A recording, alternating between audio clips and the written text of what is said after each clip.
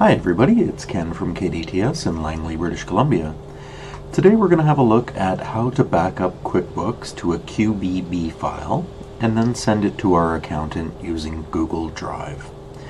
Um, there's lots of ways to send the file, but I'm only going to show uh, one different scenario. So the first thing we need to do is open up our QuickBooks and log into our company file. Now, if you have multiple users, one thing to note is you can't create the backup when you're in multi-user mode. So you'll want to make sure that you are in single user mode before you get started.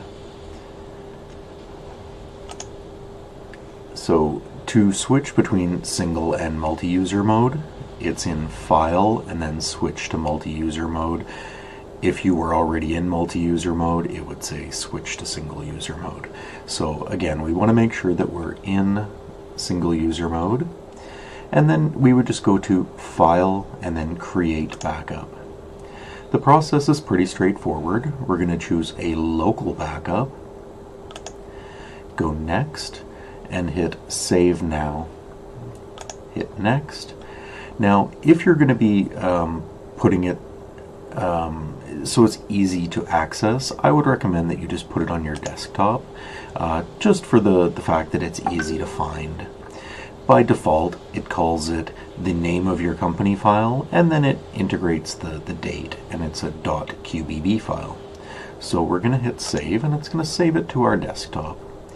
Because we're saving it to the same computer that uh, is hosting the file, it warns us that that might not be a good idea because you you know if your backup is on the same computer that your uh, active data is then there's that potential for loss. But because we're not doing this for uh, a data safety or backup reason uh, this is okay. So we're going to hit use this location.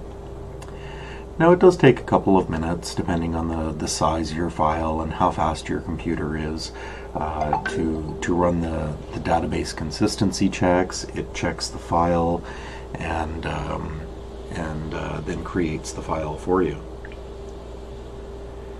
So we're just waiting for a moment here and hopefully it'll be pretty quick. And you can see that it's just validating all the uh, transactions and exporting everything to the QuickBooks file. So it's almost done here.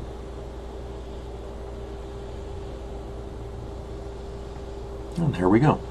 So it created the QBB file on our desktop for us. You can see that it's um, saved on the desktop. So we're going to hit OK. At this point, we can close QuickBooks. And now you'll see that we have our QBB file here on the desktop. So what I would recommend is if you're using Dropbox, you would put it in your Dropbox folder. Um, as I said, I'm going to put it in uh, Google Drive. So I've already logged into Google Drive and I just made a temporary folder for the purposes of this. So I'm going to go New, File Upload, and then I'm going to go to the desktop and grab that file. Hit Open, and it's now uploading it. So again, depending on how large your file is, it can take a while and the speed of your internet connection. Um, I'm sitting on a, a, a, virtual server which is in the Amazon data center and it's very quick. So our upload of 109 megs took just a couple of seconds. So now you can uh, see your file, right click on it and share now, if your accountant has a Gmail account or a G Suite um, email system, you can just type in their email address and uh, send the link to them. This is ideal because it gives you the best uh, security. Uh, it requires their login and validation before they have access to the file.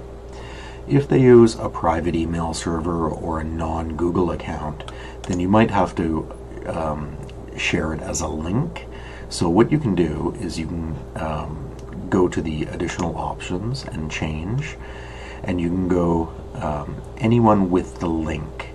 So anyone with a link means that literally anyone with the link can get it. So make sure you're careful about who you share it to and how you share it.